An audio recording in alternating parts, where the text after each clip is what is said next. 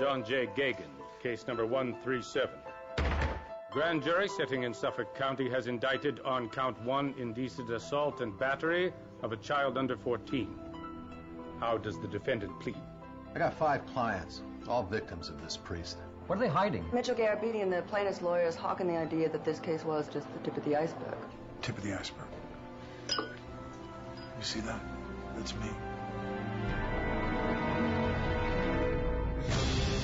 The charges against Geoghan here going back to 1965. We're good at keeping secrets.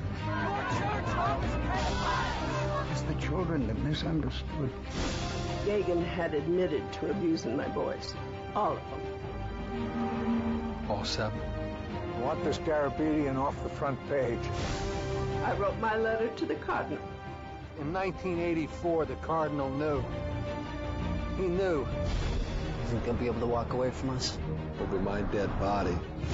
We sue the man in the red hat. You're not serious. He's bringing the church down, brick by brick. I'm offering your clients 30 million. It's not what I want! You want to hurt them, you take their money, because money's the only fucking language they understand.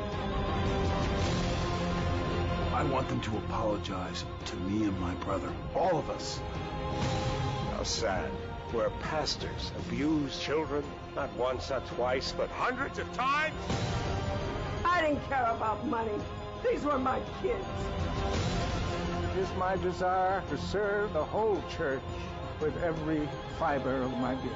I think it's time for Cardinal Law to resign. Don't close your eyes. Look at us.